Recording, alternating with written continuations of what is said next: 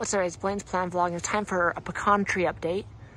This pecan tree is, don't know what the variety is, but it's a very massive pecan tree.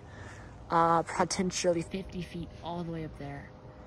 And I'm gonna give you a fruit update and how the nuts are developing. So there's a cluster right there. It's a little higher up. Let me show you a close-up one right here. Here's some right here. Oh wait, hang on. Here's some right here.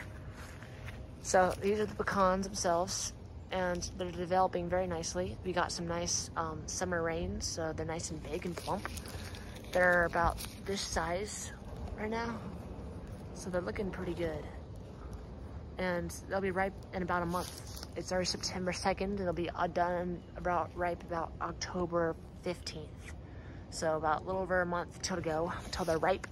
This thing has hundreds of pecans on it, and I'll be doing a pecan harvest update, a uh, pecan harvest video uh, in October. And as you can tell, this this this pecan tree has got grown about uh, a couple of feet this summer, from right up there all the way down to here, and it looks like it has stopped growing apparently.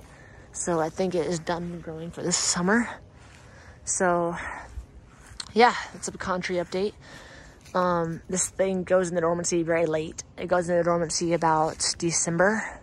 So this thing has leaves on it for a long time, but it's also one that goes, comes out of dormancy pretty late too. So yeah, that's a country update. Hopefully it'll get some more um, summer and fall rains to help um, keep those pecans uh, nice and healthy because we don't want them to early drop now. But these look great. Can't wait.